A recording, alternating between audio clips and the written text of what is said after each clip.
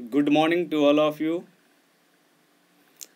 चलिए, आज हम लोग पुनः एक नए चैप्टर पर चर्चा कर लेते हैं और उस चैप्टर को पलटने के बाद पॉइंट नंबर वन जिसमें प्रिंसेप और प्रियदशी प्रियदसी लिखा हुआ है है ना? थोड़ा सा आप ध्यान देंगे।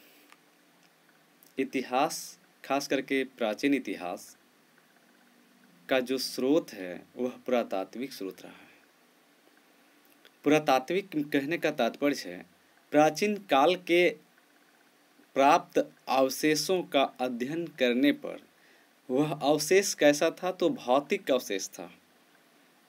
भौतिक अवशेष कहने से तात्पर्य, अभिलेखों की प्राप्ति का होना, सिक्के की प्राप्ति का होना औजारों की प्राप्ति का होना, ये सभी भौतिक अवशेष कहलाते हैं। हमारे यहाँ जब ईस्ट इंडिया कंपनी व्यापार करने के लिए आई और कालांतर में इन्होंने भारतीय उपमहाद्वीप को अपने कब्जे में लेकर उपनिवेशवाद स्थापित किया, इसी ईस्ट इंडिया कंपनी के एक अधिकारी जेम्स प्रिंसेप ने 1830 ईस्वी के दशक में ब्राह्मणी और खरोष्ठी लिपियों का अर्थ निकाला। इन लिपियों का उपयोग सबसे आरंभिक अभिलेखों और सिक्कों में किया गया है? ये लिपियाँ छठी शताब्दी ईसा पूर्व की है। दैट मीन्स 600 ईसा पूर्व से लेकर छठी शताब्दी ईसा पूर्व की लिपियाँ हैं। और अधिकांश अभिलेखों पर और सिक्कों पर पियदसी पियदसी यानी मनोहर मुख आकृति वाले राजा का नाम लिखा है। कुछ अभिलेखों में इसका नाम अशोक भी लिखा है। इसका मतलब है कि मौर्य सम्राट अशोक का नाम बहुत ही फ़ेमस था और अभिलेखों में प्रायः अशोक भी लिखा हुआ मिला है। इस शोध से आरंभिक भारत के राजनीतिक इतिहास के अध्ययन को एक नई दिशा मिली। क्योंकि भारतीय और यूरोपीय विद्वानों ने उपमहाद्वीप पर शासन करने वाले प्रमुख राजवंशों की वंशावलियों की पुनर्रचना के लिए विभिन्न भाषाओं में लिखे अभिलेख और ग्रंथों का उपयोग किया। परिणाम स्वरूप क्या हुआ? बीसवीं सदी के आरंभिक दशकों तक उपमहाद्वीप के राजनीतिक इतिहास का एक सामान्य चित्र तैयार हो गया। इसका मतलब है कि उन अभिलेखों की सहायता से, उन सिक्कों की सहायता से मौर्य साम्राज्य, या फिर कहें छठी शताब्दी ईसा पूर्व के सामाजिक और राजनीतिक इतिहास की जानकारी बनना शुरू हो गया। ठीक है? इसके बाद विद्वानों ने अपना ध्यान राजनीतिक इतिहास के संदर्भ में लगाया और यह छानबीन करने की कोशिश करने लगे कि क्या राजनीतिक परिवर्तनों और आर्थिक तथा सामाजिक विकासों के बीच कोई अंतर रहा? कोई संबंध रहा? बिल्कुल रहा। तो हम संक्षिप्त में चर्चा कर लेंगे फिर प्रारंभिक राज्य। तो मैंने कहा था कि सोलह महाजनपद छठी शताब्दी ईसा पूर्व में ये जो उभरे हैं, यही प्रारंभिक राज्य हैं। सोलह महाजनपद में कुछ महाजनपद राजतंत्रात्मक थे और कुछ महाजनपद गणतंत्रात्मक थे। राजतंत्रात्मक कहने का तात्पर्य है कि जिन लोगों का शासन, जिन राज्यों का शासन, जिन लोगों ने एक राजा के मार्फत चलाया, या कोई राजा ही अपना शासन चलाता हो प्रजा के ऊपर और वह पद वंशानुगत हो तो वह राजतंत्रात्मक कहलाता है। मतलब राजा का शासन राजतंत्रात्मक कहलाता है और प्रजा का शासन गणतंत्रात्मक कहलाता है। इस वक्त आपको दो ही गणतंत्रात्मक शासन मिलेंगे, ठीक है?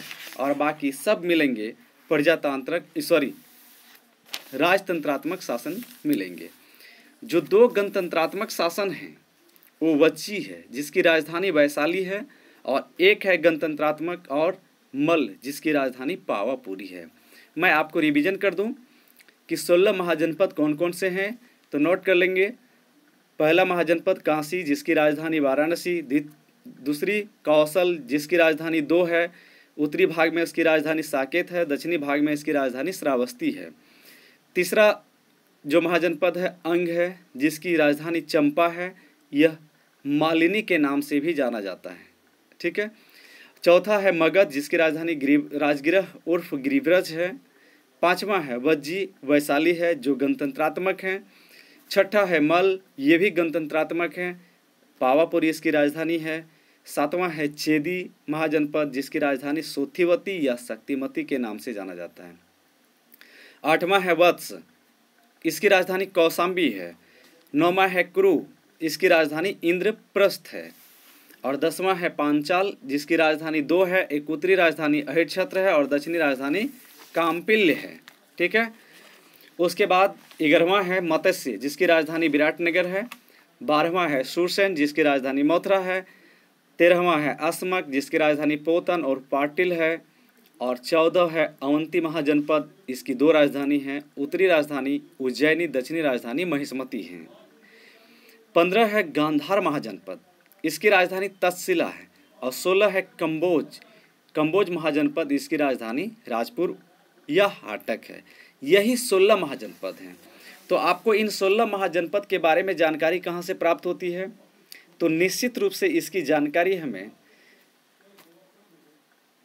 बौद्ध ग्रंथ अंगुत्तर निकाय से प्राप्त होती है और जैन ग्रंथ भगवती सूत्र से प्राप्त होती है।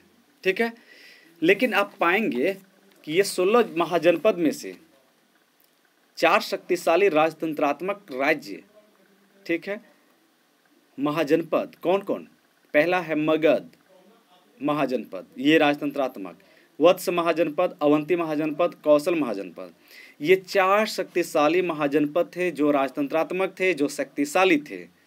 और उत्तर भारत की राजनीति में उभरे। इन्होंने क्या किया? बाकी सभी गणतंत्र वाले महाजनपद को और राजतंत्रात्मक वाले महाजनपद को सिमेट लिया। ठीक है? समेट लिया। आगे चलकर चौथी शताब्दी ईसापुर में मगध महाजन साम्राज्य के रूप में महान मौर्य सम्राट चंद्रगुप्त मौर्य ने मौर्य साम्राज्य की नींव रखी। ठीक है? और क्या किया? इन्होंने वत्स अवंती कौशल महाजनपद को मगध साम्राज्य में मिला लिया। परिणाम स्वरूप एक मगध साम्राज्य का निर्माण हुआ। मगध साम्राज्य में शासन करने वाले राजवंश एक नहीं हैं, बल्कि इसमें एक से अधिक शासक रहे हैं और राजवंश भी रहे हैं। तो पहला जो शासक रहा है, पहला जो वंश मगध महाजनपद में शासन करने वाला रहा है, वह है हरियक वंश। ये आपका जीएस में पूछा जाएगा, इसको आपको याद रखने हैं। हरियक वंश हैं जो मगध राजवंश पर शासन करने वाले पहला वंश हैं। कालखंड है पाँच सौ चौवालीस ईसा पूर्व से लेकर चार सौ बारह ईसा पूर्व, ठीक है? उसके बाद है शासक बिम्बिसार उसके बाद शासक कौन है? बिम्बिसार ठीक है? और बिम्बिसार है, ये देख लेंगे आप। इसके बाद शासक अजात शत्रु है, उद्दीन है। हरियक वंश के बाद सैसुनाग वंश का आगमन होता है 412 ईसा पूर्व से लेकर 344 ईसा पूर्व इसकी कालखंड है। प्रमुख शासक शिशुनाग कालाशोक हैं। सैसुनाग वंश के पतन के बाद नंद वंश का शासन आता है। नंद वंश प्रमुख शासक महापद्मनंद उग्रसेन हैं। तीन सौ चौवालीस ईसा पूर्व से लेकर तीन सौ तेईस ईसा पूर्व तक इनका शासन रहा है। और अंतिम नंद शासक घननंद की हत्या कर दी जाती है और उसके पश्चात जब नंद का पतन हो जाता है तो मौर्य साम्राज्य का नींव पड़ता है। और महान मौर्य साम्राज्य की स्थापना चंद्रगुप्त मौर्य करते हैं, ठीक है? 321 ईसा पूर्व में।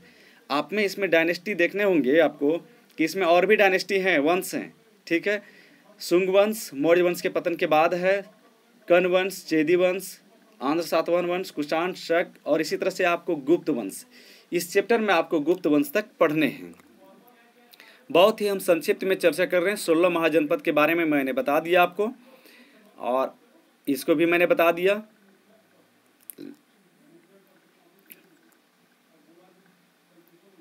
प्रारंभिक साम्राज्य।